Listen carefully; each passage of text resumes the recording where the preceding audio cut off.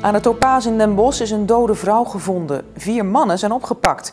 Toen de politie na een melding aankwam in de straat, zagen ze dat omstanders een vrouw aan het reanimeren waren. De politie sluit een misdrijf niet uit. Verder was er vanmorgen nog niet zo heel veel bekend. Onze verslaggever Paul van Asseldonk die is aan de Topaas in Den Bosch.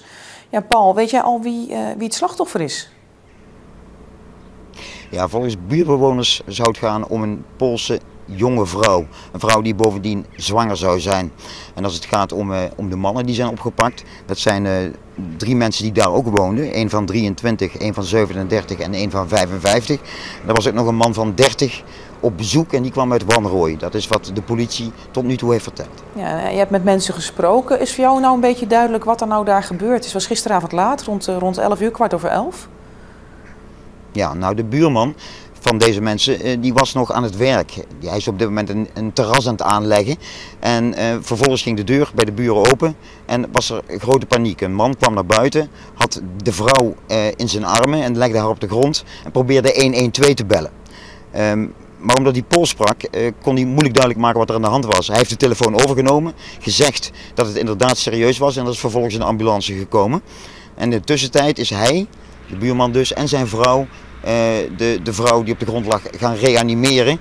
Uh, maar ja, dat is te, ver, te, te vergeefs gebleken. En uh, de vrouw was waarschijnlijk op dat moment al overleden. Ja, en er was, was een wat tumult, hè, zoals de politie dat dan zei. Was er ruzie of was er iets anders aan de hand wat jij gehoord hebt?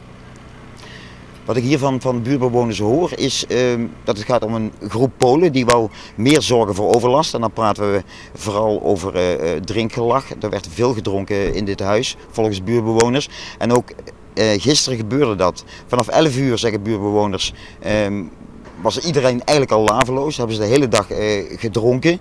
Um, maar, en dat is wat ze gehoord hebben. Maar wat, er zich in het huis afgespeeld heeft, ja, dat weet, dat weet niemand. Wat de buurman nog wel zegt, is dat er een rode stream onder aan het gezicht van de vrouw te zien was. Um, en we horen hier ook in, in, de, in de straat dat uh, de vrouw mogelijk heeft geprobeerd om zelfmoord te plegen. Maar of dat waar is, het zijn op dit moment alleen geruchten. Ja, en, en de politie is druk aan het onderzoeken. We zien het achter je ook uh, dat ze heen en weer aan het lopen zijn. Er staan grote schermen. Uh, weet je al wanneer er iets meer duidelijkheid komt? Nou ja, goed, de mannen zijn uh, aangehouden onder verdachte omstandigheden. Dat is logisch. Op het moment dat hier een vrouw doodgevonden wordt en er staan uh, vier mannen bij uh, die bovendien dronken zijn, dan worden die meegenomen, ingesloten.